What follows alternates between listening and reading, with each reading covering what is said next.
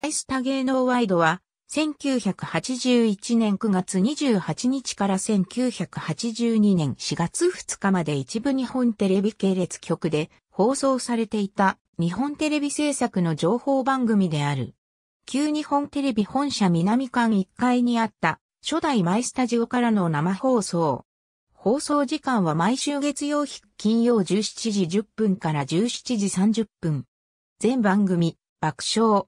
マイスタが持っていたバラエティ番組色を抑え、芸能ニュース中心の内容へ路線変更した番組である。ただし、番組後半には番組宣伝や天気予報、ゲスト歌手が歌を披露するパートなど、爆笑。マイスタの路線を引き継いだコーナーもあった。爆笑。マイスタから引き続き質問へと B&B が司会を務めていたが、後に3、笑い亭夢之助と交代した。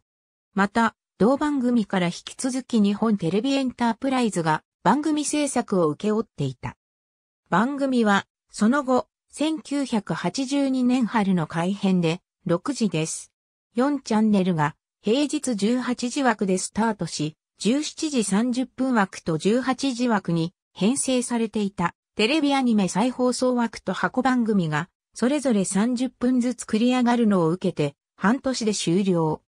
14時から放送の帯番組、2時のワイドショーと統合され、同番組内で放送の芸能ニュースコーナー、芸能マイスタとしてリニューアルした。ありがとうございます。